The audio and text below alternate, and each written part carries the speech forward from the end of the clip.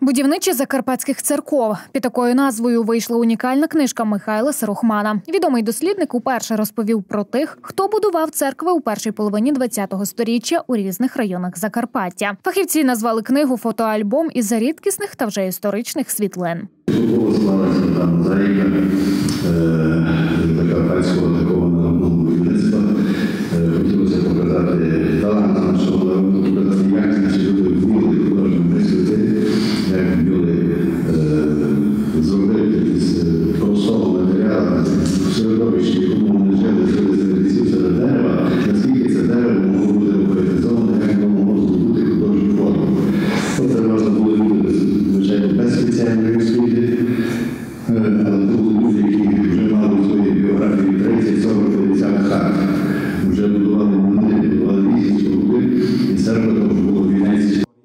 Історик Йосип Кобель презентував науково-краєзнавче видання про рідне село Квасово, що на Берегівщині. Автор у десяти розділах описав різні аспекти історії населеного пункту, починаючи з назви до 1944 року. Акцент зробив на його унікальності, адже це українське село посеред угорських поселень.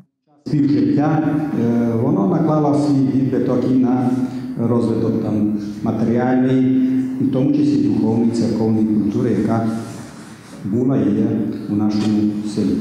Наші люди з давніх часів говорять на двох мовах, тобто їм не потрібні підручники, міністерські накази, бо вони самі, хто хоче, може навчитися мову угорську, хоча всі говорять, що це важка мова. Е, Шкода, на жаль, в зворотньому напрямку я не можу це сказати, що угорці так само вивчають українську. Але ми показуємо приклад. Хто хоче, той може. Ще одне видання про Закарпаття представив тернополянин Володимир Мороз під назвою У серці Мараморошу. Історія греко-католицької спільноти дубового й околиць. Автор більше року працював з архівами та спілкувався із старожилами, аби дослідити історію заселення Мараморошу. З'ясував чимало цікавих історичних фактів, релігійне життя тощо.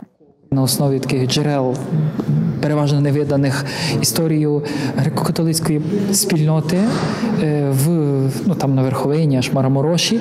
Е, Від її початків, хоча е, я трішки дав і перед історію, ніби як воно сформувалася, та історія греко-католицької громади, і до, до, до сучасності. Тобто це від середньовіччя до тепер.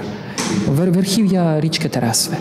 Представлені видання вперше докладно висвітлюють різні аспекти життя Закарпаття і мають непересічне значення для культури та духовності краю.